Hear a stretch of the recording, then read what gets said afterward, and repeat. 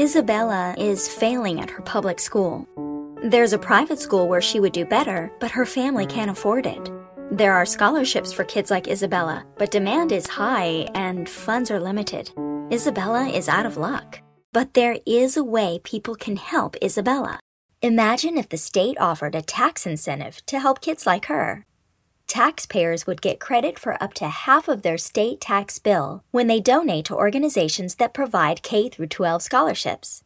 For example, someone who owed $1,000 in state taxes makes a $500 scholarship donation.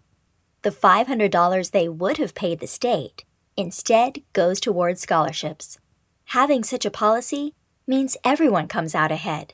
Isabella gets an education that fits her better. Taxpayers can feel good about making a huge impact in the lives of kids like Isabella, and public schools have more money left over for each of their students.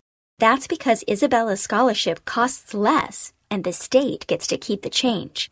Every year, more and more states are putting this system in place. It's supported by both Democrats and Republicans. Colorado should be next.